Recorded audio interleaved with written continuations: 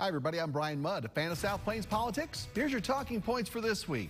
Randy Christian may not be back on Lubbock City Council, but he's going to get to a finish line on one of his pet projects, an update on McAlister Park. And indictments and whistleblowers might doom a lot of politicians, but a look at why voters just don't care when it comes to Ken Paxton.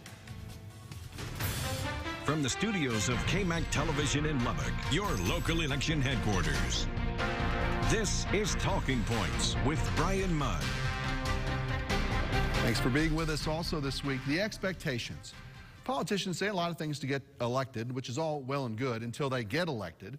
And that's when things get real because at that point, voters and those who don't vote all have expectations. So, as much as Tuesday's swearing in ceremony at Citizens Tower was nice for the three new council members and Lubbock's new mayor, the truth is citizens aren't interested in their learning curve. They want the pothole fixed in their neighborhood and their taxes kept to a minimum.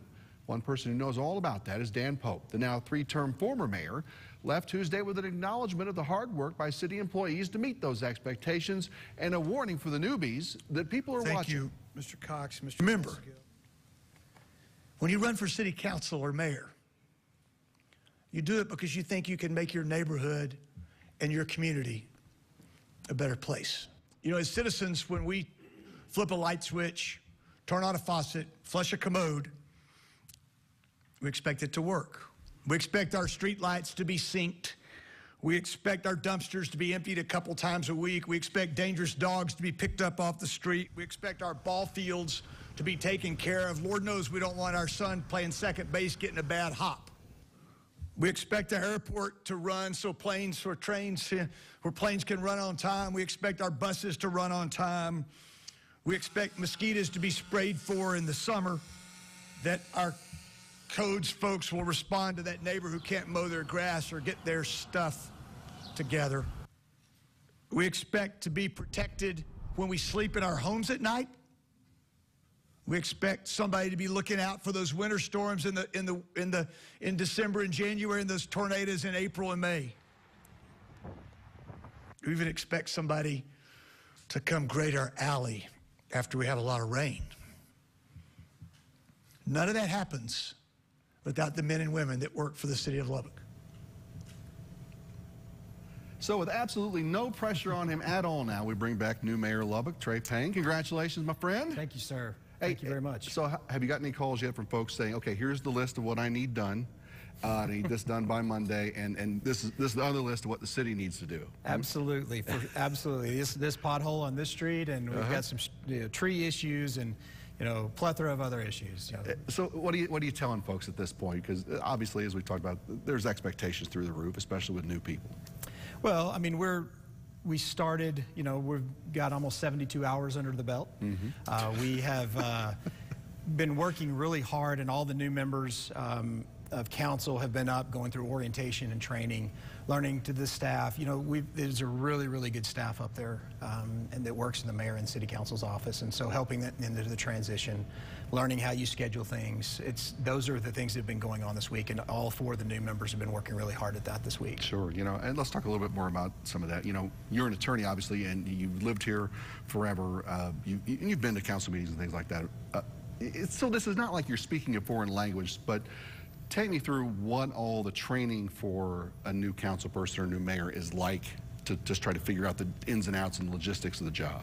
Well, I said early, it's almost from day one, it's drinking from a fire hose. There's just a lot of information, a lot of scheduling, a lot of different boards and things that have different committee members that you have to work through. I spent about an hour and a half yesterday with the city secretary's office.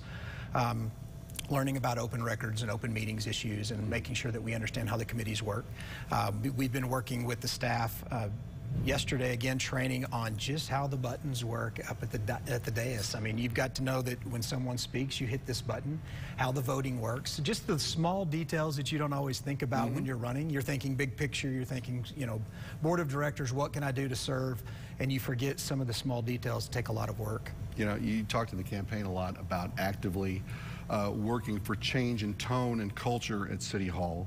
Um, explain again to folks kind of what that means to you, especially now that, that you're, you're in, the, in the office and, and, and how you may be going about that with different employees and different departments. Well, I think efficiency was a big message for me, and I think that uh, moving in towards, towards more of a, an efficient model in council meetings, making sure that we don't have staff members staying up there at times when they could be actually working, that we're not paying out of the budget for people to sit up there and be um, sitting in council meetings when they could be doing other things. Being more efficient just in the meetings themselves. You know, yesterday I spent a, a good amount of time just walking the halls, meeting the different people in the different departments. One of my goals is I would like to meet many of the employees. We've got a, an employee picnic on Saturday that my family's going to just to get to know people better. I think that's encouraging. You want to see that people that work for the city uh, and the leaders of the city are, are, are getting to know you and care about you as a citizen, not just as an employee. And probably vice versa too, knowing that the council and the mayor are thinking about them and, and, and how they do their jobs. Yeah. The, uh, did you hear, were you able to talk to Dan Pope at all about the job and the transition? Um, Mayor Pope was most excellent to me. Uh, spent several hours with me over the last two weeks, walking me through. Got me a notebook, walking me through. You know, here's some uh, issues you need to be aware of. Here, catching me up up, up on other issues. Was very, very gracious to me. Left me one of the kindest notes.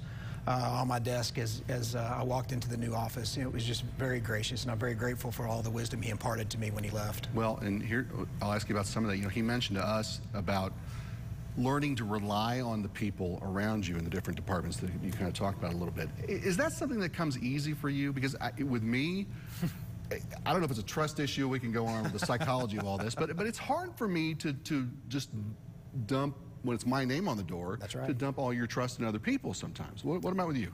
I, I've always been a person that managed my business. You know, the people that have worked for me, I've had people working for me 10, 12, 13 years since I started. Mm-hmm. I, the, the trust issue is very important. But you also have to let people do their jobs. You can't be a micromanager, in my opinion, especially when your job is the board of directors. The job of the mayor and the, and the city council is the board of directors. It's oversight, it's policy. And, and sometimes you have to get out of the way of yourself to let people be more efficient in their work. And that's, that's my model. And I've seen just in the last two weeks what a great staff that we have in place. And I look forward to continuing to work with them. All right, goal number one for Mayor Payne here.